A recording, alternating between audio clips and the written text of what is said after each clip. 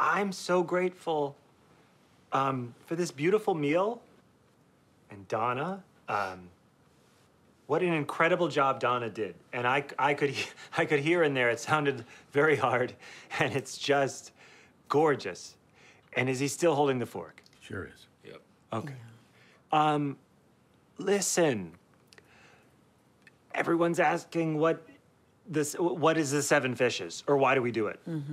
And I think I know what my definition is.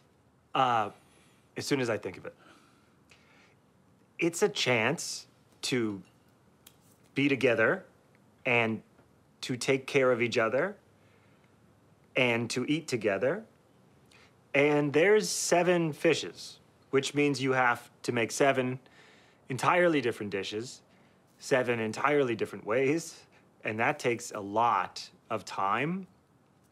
And I think spending that time and using that time on the people that we love is how we show them that we love them.